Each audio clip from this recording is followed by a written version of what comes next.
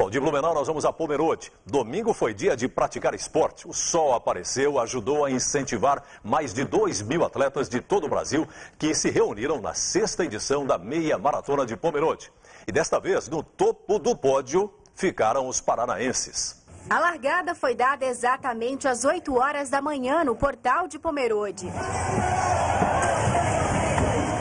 Homens e mulheres disputaram ao mesmo tempo a meia maratona de 21 quilômetros. O clima surpreendeu. A chuva de sábado no domingo deu lugar ao sol e fez calor. Para aguentar o trajeto, só mesmo com muita água. Haja hidratação. De fora da prova, quem assiste busca um pouco mais de conforto, ou pelo menos tenta. Marta veio de Blumenau com a família prestigiar o marido. Vale até sentar no chão para apoiar o atleta. Mesmo na beira da estrada, né? Na próxima vez eu vou trazer umas almofadas. E vale a pena, tudo vale a pena. Vale, sempre vale a pena, né? Sempre vale a pena. Esse pessoal é esforçado, a gente tem que dar apoio, né? Alessandro de Souza, natural de Pinhais, no Paraná, foi o destaque entre os homens. Ele abriu uma grande vantagem na reta final da prova e foi o primeiro a chegar percorreu os 21 quilômetros em uma hora e oito minutos.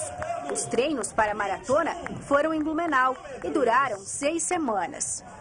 Foi muito treino, muita dedicação, né? Sacrifício tanto da minha parte como dos meus familiares, né? Você tem que deixar a família para se dedicar. E e foi isso, né? Muita dedicação, dedicação e determinação.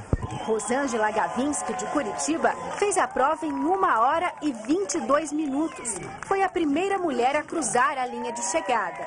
Muito calor e, e agora nesse momento estou treinando mais para prova de pista, então eu senti um pouco a distância hoje. Já são duas horas e meia de prova e ainda tem gente chegando. Gente que, apesar do cansaço, não perde a animação. Independente da ordem de chegada, do lado de cá, o que não falta é torcida. A gente sempre vem junto, onde eles estão, os eventos, a gente sempre vem junto para torcer para eles, para incentivar. Esperando o marido chegar, tem que acompanhar. Esposa de corredor tem que ser parceira. Tem que ser parceira, ficar aqui incentivando.